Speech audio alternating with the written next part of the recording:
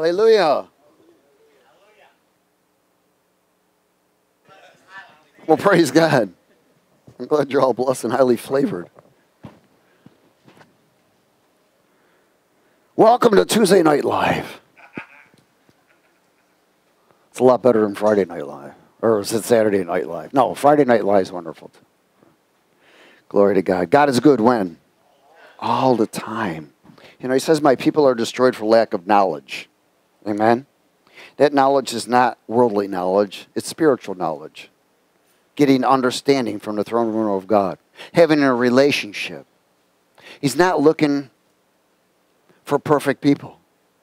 Amen? In fact, look at us. We sure weren't perfect, man. We're the heathens above heathens. Hallelujah.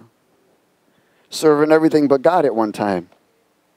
But then when He shows up and changes you, it's different. When He touches you, it's different. And we want to touch from God all the time. We can see what's going on in the world, and if you don't understand, I pray you get understanding. The Antichrist regime is active. They're, uh, they're no longer in the closet, they're on your front lawn. Amen? There's no hiding at all because they know their time is short, so they're going to take out as many as they can. Their purpose is to depopulate the world to 5,000 to 500,000 people. Imagine that. But the body of Christ is raising up, finally, coming into unity. We are in a war. We've been in a war. Since you've been born, you were born in a war. And every day is a battle. And if you're not in a battle, you will become a casualty. There's no doubt about it. Somehow, some way, you'll become a casualty. In 1 Timothy chapter 4, would you go there with me?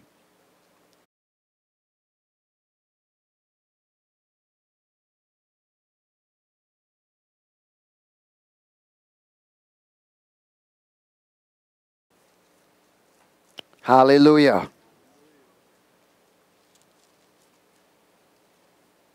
Thank you, Master.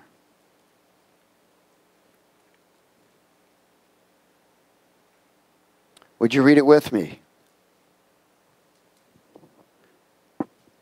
Now, the Spirit, that's the Holy Spirit, expressly says, so he's trying to get everybody's attention. It's almost like he's shaking you. Expressly says that in the latter times, are we in the latter times? Yes. Some will depart from the faith. How many of y'all know there's a falling away? It's tremendous right now. Do you know they did a survey of over a million something so called Christians? And only 60, 67% of them do not believe in the Holy Spirit. It's incredible. It's shameful. He says, Many will fall from the faith, giving heed to deceiving spirits. These are lying voices of the air giving heed to deceiving spirits and doctrines of demons. Wow. So these are lying voices of the air that people are going to be deceived because it's going to the mind and imagination through indoctrination of things written and to be read. These things are able to alter the minds of humanity. These demonic forces are altering the minds of humanity. In fact, right now, what it does is bring an individual into mental captivity. Is everybody okay? Let's go a little further. It says, speaking lies and hypocrisy, having their own conscience seared with hot iron. In other words, that conscience is the voice of God to them. It's been seared so they can't even get convicted. They reject it. Forbidding to marry, and commanding to abstain from foods which God created to be received with thanksgiving by those who believe and know the truth. Again, these are lying voices of the air that affect the mind and imaginations. There's also that they use also doctrines, which is what we call indoctrination of things that are written to be read, able to alter the minds of humanity, removing the righteous conviction by searing the conscience voice of God. It brings the carnal mind into a state of mental captivity. They utilize weapons like music, movies, media, education, books, relationships, drugs, mind altering drugs. Look how many people are on drugs. How many people are mental drugs, mind altering drugs? Pornography. The atmosphere is toxic right now. Medical injections, you know, prescriptions and stuff to that degree that are messing with people's minds. Many of them have side effects, alter their, their mood altering. And there are also frequencies that move the minds and the hearts of individuals. We are in a time right now where there's such an, a bombardment all over. We are hard pressed everywhere. And the purpose of the enemy is trying to bring the mental state of an individual into captivity to control them. Is everybody okay? Let me show you something and go to Genesis 3.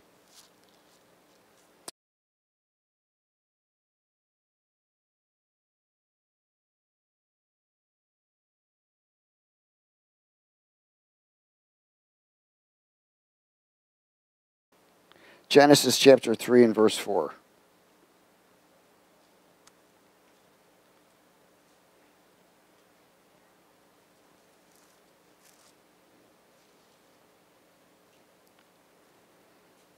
Now we know that the serpent was more cunning than any beast of the field, right?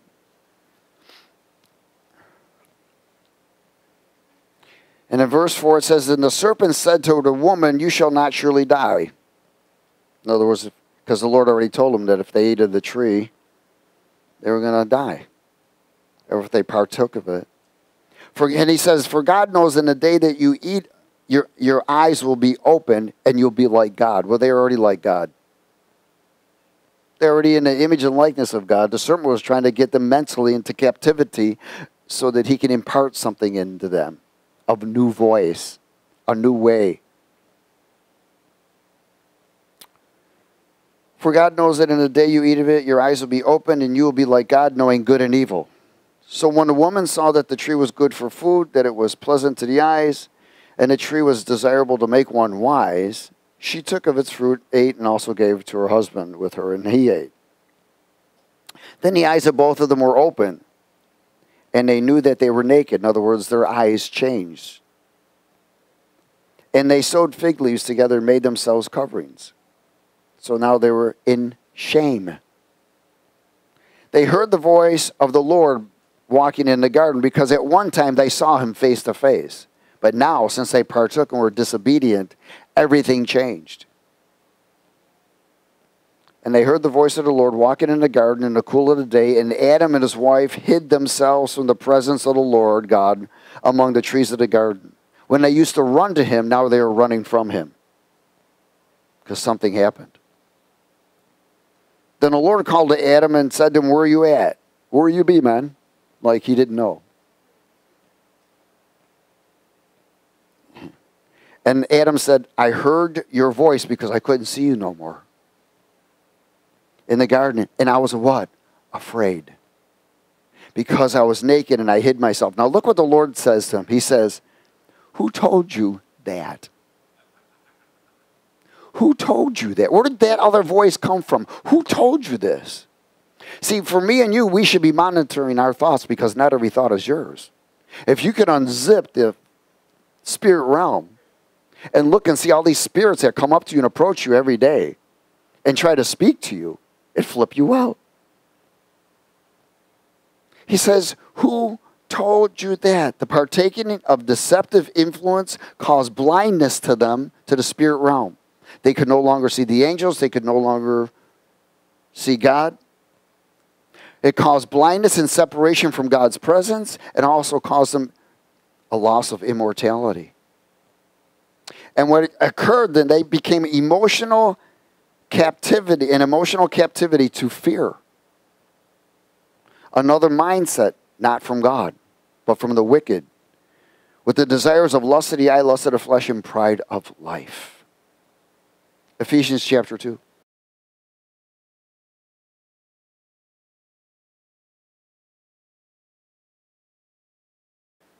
The world has been taken into mental captivity, fear. People are running to go get poked instead of running from it.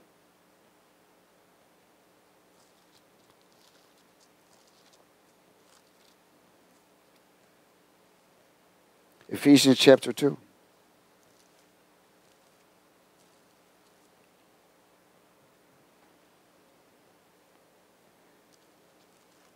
In verse 1. Ephesians 2 1 through 3, let's speak it together. Mental captivity. And you he made alive who were dead in trespasses and sins, in which you once walked according to the course of this world. Every one of us did. According to the prince of the power of the air, the spirit who now works in the sons of disobedience among whom also we all once conducted ourselves in the lusts of our flesh, fulfilling the desires of the flesh and of the mind, and were by nature children of wrath as the others. The prince of power of air, frequency, sound waves, toxic environment. The prince of power of air, that's attacking people's thoughts. 2 Corinthians 4.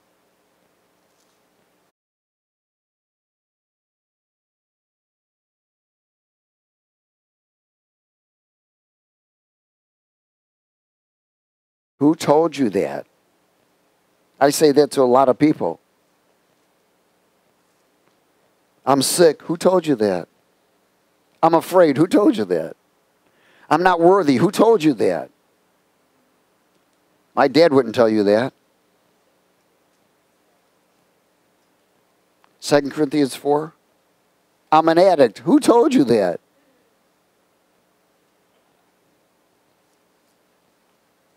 Hallelujah. The lie of once an addict, always an addict. Boy, is that a lie, huh? Thank God. In verse 1 Therefore, since we have this ministry as we have received mercy, we do not lose heart, but we have renounced the hidden things of shame, not walking in craftiness nor handling the word of God deceitfully but by manifestation of the truth, commending ourselves to every man's conscience in the sight of God. But even if our gospel is veiled or blinded, it is veiled to those who are what? Perishing. Whose minds, remember, we just talked about this, the God of this age has blinded. In other words, they've been taken into mental captivity and don't even know it. Who do not believe, that word believe means to follow lest the light of the gospel, the glory of Christ, who is in the image of God, should shine on them. The minds blinded to the truth, controlled and maintained by the constant bombardment of ungodly worldly influence. Anybody ever seen The Matrix? That's a reality there. Amen. So they finally got unplugged. That's what happens when you get come to Jesus. You get unplugged. Now you got to make sure you don't get replugged. Amen. Praise God. That's what the falling away is. People have gotten replugged. They've gone back to the ways of the world. 2 Timothy 2.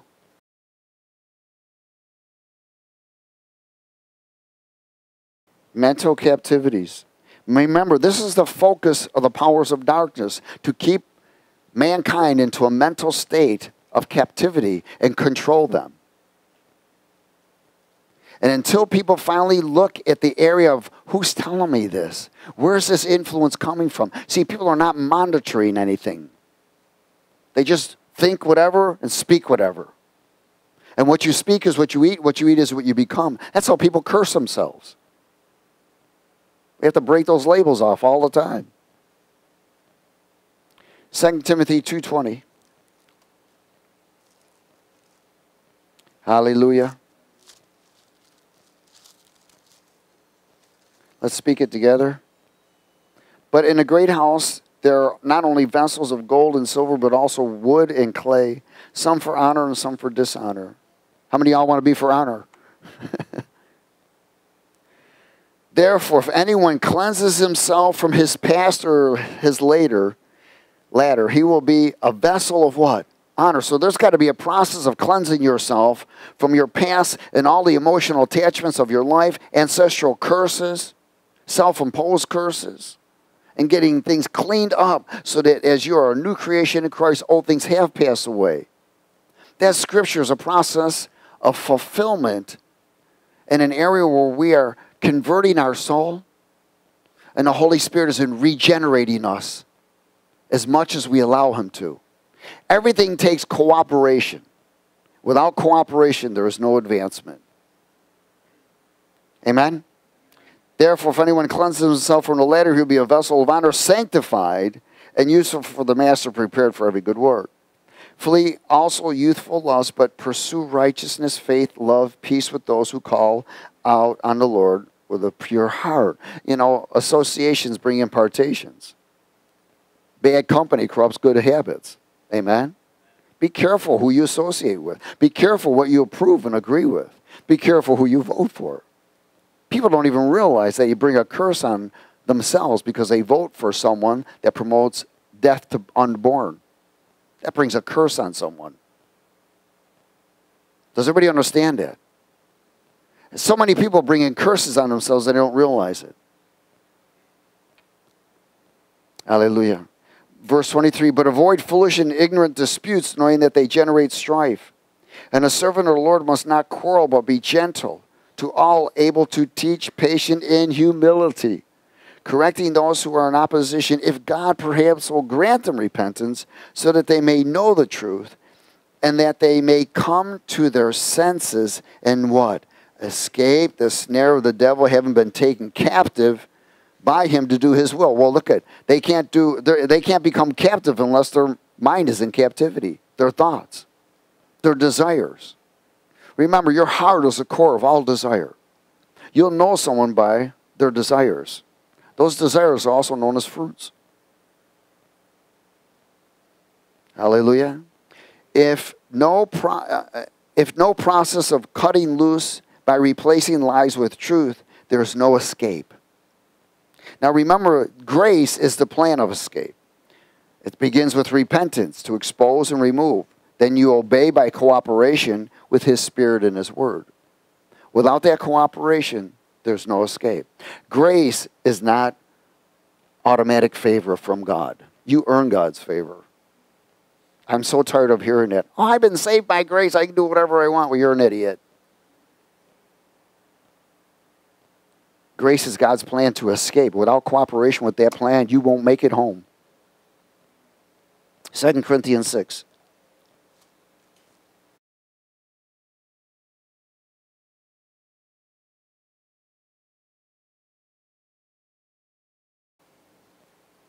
Second Corinthians 6. Hallelujah. Verse 11. Let's speak it together. Mental captivity and emotional captivity. All Corinthians, we have spoken openly to you. Our heart is wide open. You are not restricted by us, but you are restricted by your own what? Affections or emotions. Now, in return for the same, I speak as to children. You also be open. Do not what? Be unevenly yoked with unbelievers. Why? It's going to cause a problem because bad company corrupts good habits. You know, again, as a believer, we witness to our old associates, but we don't fellowship with them. You don't go sit and watch football games with them. You're just asking for trouble. Why? Because there are serpents around them. Their atmosphere is different. And if you allow that to happen, you are letting your guard down and you're getting bit and don't even know it. Hallelujah. Do not be unevenly yoked with unbelievers, for what fellowship has righteousness with lawlessness, and what communion has the light with darkness? And what accord has Christ with Belial, or what part has a believer with an unbeliever? And what agreement has the temple of God with idols? Let me share something with you before I go further. When you come in agreement with something that's unclean, you fuse an emotion to that, to that whatever said. Does everybody under? Eh, there's a fusing there. It's fused together. So not only is it captive in the mind, but now there's a captivity of emotion to it. And what agreement has the temple of God with idols? For you are the temple of the living God, as God has said. I will dwell in them, I will walk among them, and I'll be their God, and they shall be my people. If they do something. If they do what? Come out. Come on, read it with me. Come out from among them and be separate, says the Lord, and do not touch what is unclean, and I will receive you, and I'll be a father to you, and you'll be my sons and daughters, says the Lord Almighty. And remember, this is emotional captivity with a touch and agree with something that's unclean. It fuses the memory to an emotion. It fuses the memory to an emotion and creating an emotional attachment captivity. John chapter 8, Gospel of John.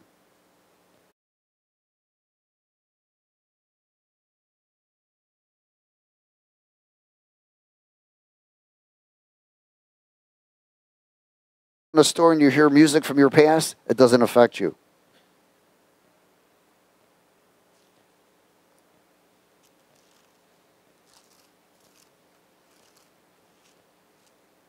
John 8 42.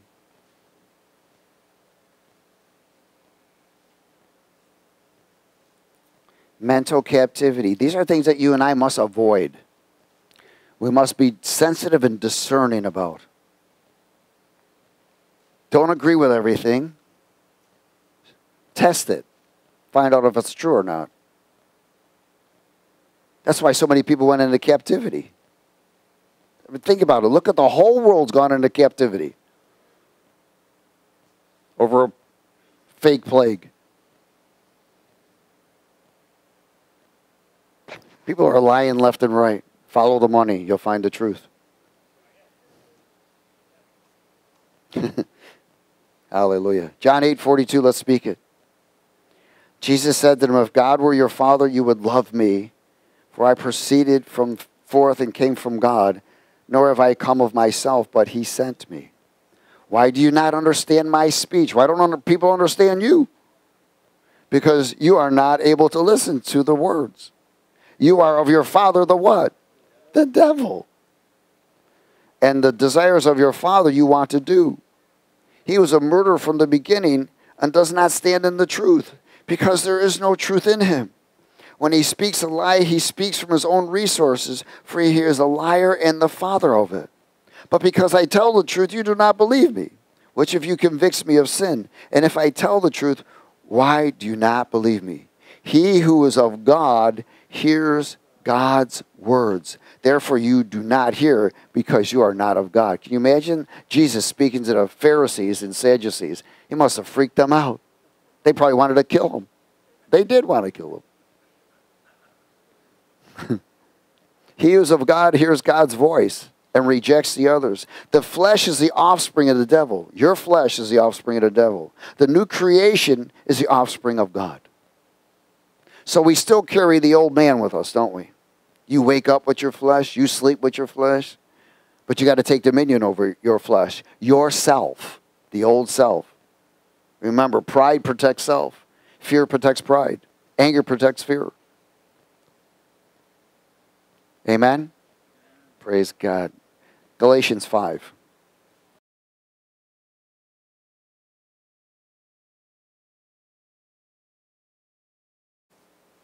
Galatians chapter 5.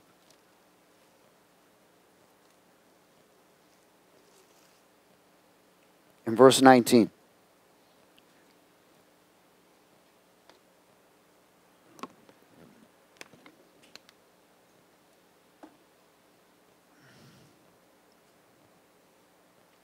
Praise God. Is everybody there? 519. Let's speak it together. Now, the works of the flesh are evident. And what are they? Adultery, fornication, uncleanness, lewdness, idolatry, sorcery, hatred, contentions, jealousies, outbursts of wrath, selfish ambitions, dissensions, heresies, envy, murder, drunkenness, revelries, and the like. Which I tell you beforehand, just as I also told you in time past, that those who practice such things will not inherit the kingdom of God. In other words, they've given up their eternal life. But the fruit of the Spirit is love, joy, peace, long suffering, kindness, goodness, faithfulness, gentleness, control over self. Against such there is no law. And those who are Christ have crucified the flesh with its passions and desires.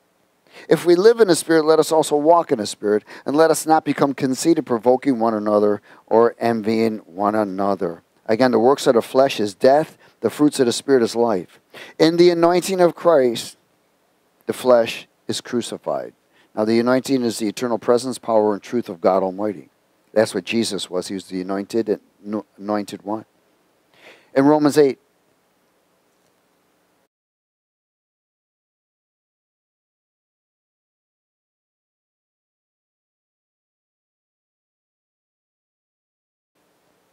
Romans 8.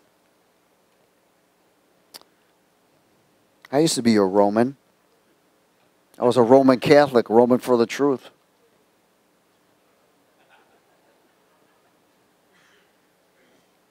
Hallelujah. Romans 8, verse 1. There is therefore now no condemnation to those who are in Christ Jesus who do not what? Walk according to the flesh, but what? According to the Spirit. So is there condemnation according to the flesh? Yeah. For the law of the Spirit of life in Christ Jesus has made me free from the law of sin and death. For what the law could not do, in that it was weak through the flesh, God did by sending his own Son in the likeness of sinful flesh. On account of sin, he condemned sin in the flesh. That the righteous requirement, everyone say there's a requirement, and it's called cooperation. Amen and the righteous requirement of law might be fulfilled. That word might means cooperation. In us who do not walk according to the flesh, but according to the Spirit. For those who live according to the flesh set their minds on the things of the flesh, but those who live according to the Spirit, the things of the Spirit. And to be carnally minded or fleshly minded, or what we call a mind in captivity. Amen? To be carnally minded is what? To be carnally minded is what? Amen. This is called mental captivity by the enemy. It's death. But to be spiritually minded is life, because the carnal mind is enmity against God, for it is not subject to the law of God, nor indeed can it be. So then those who are in the flesh cannot please God. Those who set their minds on worldly lust of the flesh, they're unable to meet the requirement of salvation. In Philippians 2,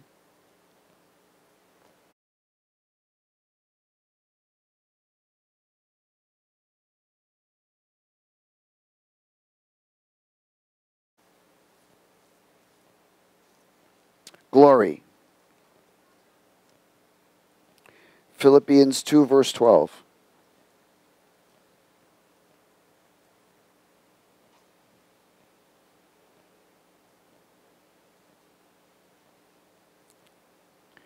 Praise God. I know I'm moving a little quick tonight. I got about 40 scriptures left, so no, I'm only kidding.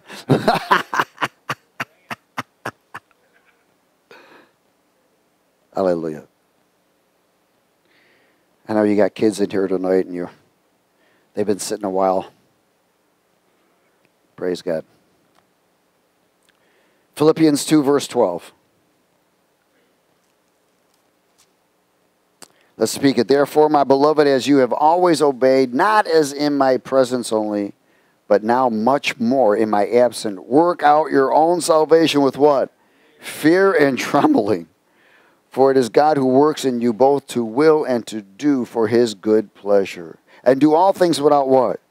Complaining and disputing, that you may become blameless and harmless children of God, without fault in the midst of a crooked and perverse generation, among whom you shine as lights in the world, holding fast the word of life, so that I may rejoice in the day of Christ, that I have not run in vain or labored in vain. Work out your salvation with fear and trembling, reverence, respect, humility, honor, not putting yourself first, but Christ. In Romans 6,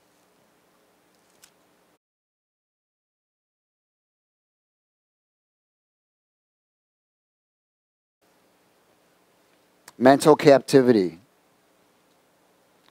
Don't let the enemy snare you into that. The word tells us that the devil seeks whom he can devour. But the word also says that you and I are to be consistent, vigilant, and alert. Amen. That takes discipline. That's where the word disciple is discipline. Amen. Without discipline, you're not consistent. You cannot live by how you feel. You do not make decisions how you feel. If you're a person that lives by how you feel, you're dangerous. Emotions lie. Now let Satan's doctrine do what you feel like. Amen. Romans 6:15. What then? Shall we sin because we are not under the law but under grace? Certainly not. Do you not know that to whom you present yourselves what? Slaves to obey, you are that one slaves whom you obey, whether of sin leading to death or of obedience leading to righteousness. But God be thanked that though you were slaves of sin, yet you obeyed from the heart, that from that form of doctrine to which you were delivered. And having been set free from sin, you became slaves of righteousness. Now I speak in human terms because of the weakness of your flesh. For just as you presented your members as slaves of uncleanness and of lawlessness, leading to more lawlessness, so now present your members as slaves of righteousness. For what? For holiness. For when you were slaves of sin, you were free in regard to righteousness. Hallelujah. So, in this, we want to be, we are slaves of righteousness. We want to be free from the slave of mental captivity. What fruit did you have then, in verse 21? In the things of which you are now ashamed, for the end of those things is death. But now, having been set free from sin and having become slaves of God, you have your fruit to holiness, and the end is what? Eternal life. For the wages of sin is death, but the gift of God is eternal life in Christ Jesus. Amen. From slaves of sin to slaves of righteousness.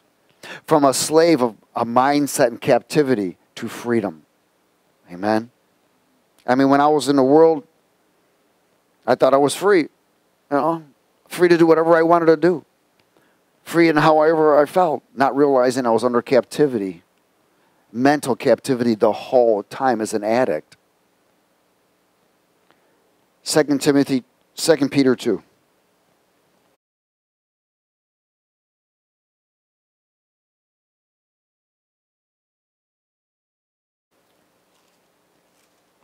Here, I thought I was fighting for freedom, being rebellious. Shame on me.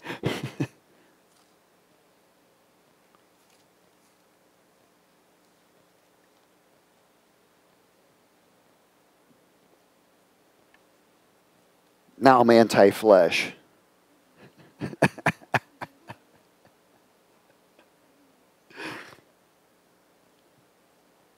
Second Peter 2. Verse 18. 2 Peter 2, verse 18. Let's speak here. For when they speak great swelling words of emptiness, they allure through the lust of the flesh, through lewdness, the ones who have actually escaped from those who live in error. While they promise them liberty, they themselves are slaves of corruption. For by whom a person is overcome by him, also is brought into bondage.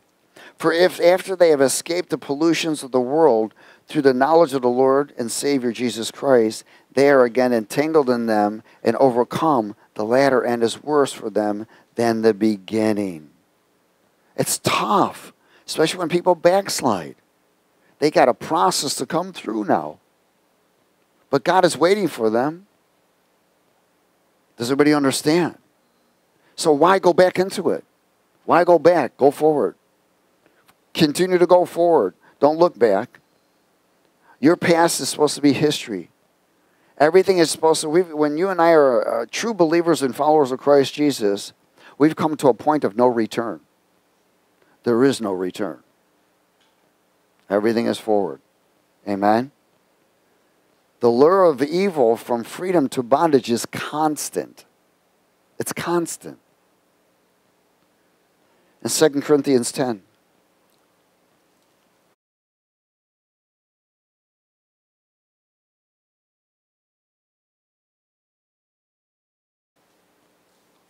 Hallelujah.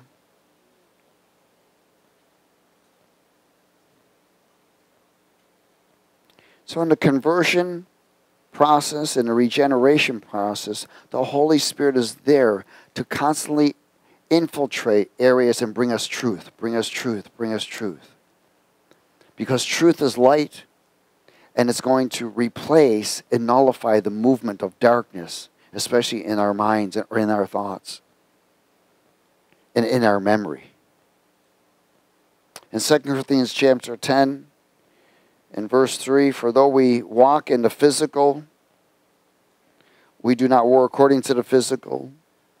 Verse 4 For the weapons of our warfare are not physical or carnal, but mighty in God for pulling down what? Stronghold. What's a stronghold? A memory lie. It's something you agreed in, it's something you agreed with, whether you were a kid or whatever. Somebody could have said something to you and you agreed with it, and it's affected you this whole time until it's broke. Those are called memory lies. And those memory lies are fused to an emotion. That's why some people have never been freed. They constantly recycle all the time because they've never taken the opportunity to get free, totally free. Verse 5 casting down arguments and every high thing that exalts itself against the knowledge of God, bringing every what? Thought. Who told me that? into captivity to the obedience of Christ and being ready to punish all disobedience when your obedience is fulfilled. What we're doing is we're pulling these strongholds out. We're replacing these memory lies with truth. But we must bring them to light and repent for agreeing with them so it gets cleansed by the blood and nullified. Romans 7.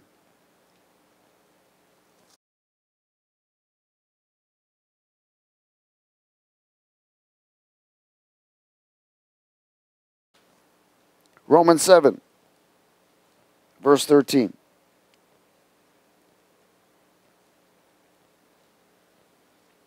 Seven thirteen.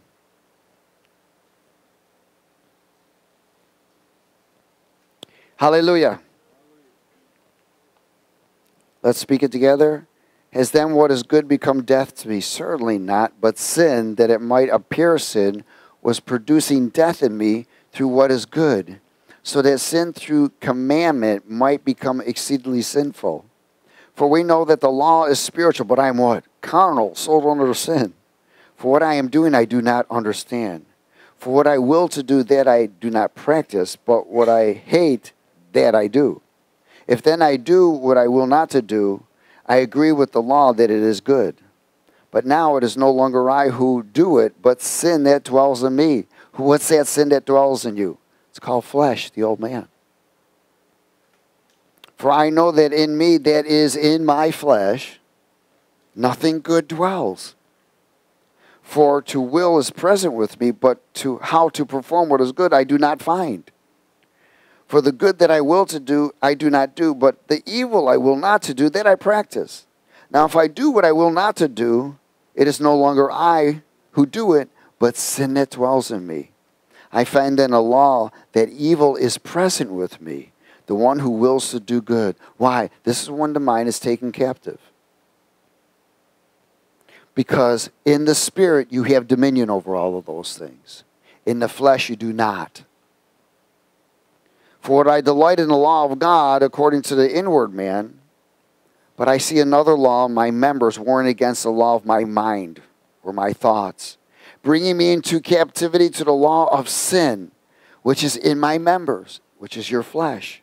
O wretched man that I am, who will deliver me from this body of death? I thank God through Jesus Christ our Lord. So then, the mind, I myself, serve the law of God. In other words, because of the mind of Christ, I now serve the law of God, the commands of God. But with the flesh, he serves the law of what? Sin. Is everybody okay? So the mind is a servant of the commands of God. That's the mind of Christ. But the mind of the carnal is the servants of the commands of sin. I'm going to close at 1 John chapter 2.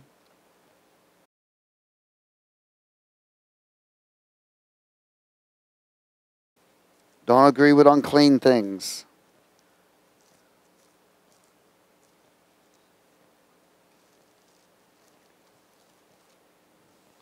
Be careful of media music and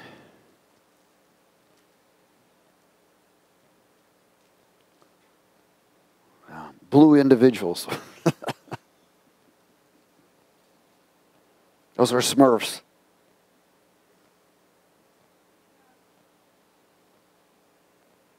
Hallelujah. They're smurfs. They practice witchcraft, you know. Verse 15. 1 John chapter 2, verse 15. That's why they're called blues. They're, they're, my, they're definitely captive, let me tell you. What does it say, verse 15? Do not love the world or the things in the world. If anyone loves the world, the love of the Father is not in him. For all that is in the world, the lust of the flesh, the lust of the eyes, and the pride of life, is not of the Father, but is of the world. And the world is passing away, praise God, and the lust of it. But he who does the will of God abides forever. Little children is the last hour. And you have heard that the Antichrist is coming. Even now, many Antichrists have come, by which we know that it is the last hour. They went out from us, but they were not of us. For if they had been of, of us, they would have continued with us. But they went out that they might be be made manifest that none of them were of us. In other words, their minds got, became captive again. But you have an anointing from the Holy One, and you what? You know all things. So what's the problem? There should be no problem. If you are led by the Spirit and you're hearing the voice of God, if you but you can't be led by the Spirit unless you're filled. That's why it's so important that we assemble and worship. Worship is what brings God's presence and removes everything else. If you're not a worshiper yet, I encourage you to become one. It's going to take a little humble pie, amen, and a lot of breath. But that's how you don't get anywhere without sowing in the Spirit. You must sow in the Spirit. That's how it moves the hand of God. Other than that, you're going to be moving in the flesh, and then you're going to reap corruption. I'd rather have God build the house than not me. Amen? Be careful out there because we're being bombarded in every area. The enemy is constantly trying to get you into a mental state of captivity so he can manipulate us. Amen? Remember, who told me that? Where did it come from? No, I'm not going to be led how I feel. I'm going to be led by truth. I'm not making decisions by emotions. I'm making decisions by truth. But you got to know the truth. Amen. Praise God. Father, we thank you for your word. We are honored and blessed. And we also thank you for the warning so we don't get taken captive. Now I pray each and every one here, Lord, that the seed that's been imparted will be restored to them and brought to remembrance so they can break loose of all strongholds, memory lies, and entanglements and affairs of this world and be free in the spirit and free in the mind with fellowship with the mind of Christ. In Jesus' name. Everybody said amen. Praise God. Give somebody a hug and hear us You did it.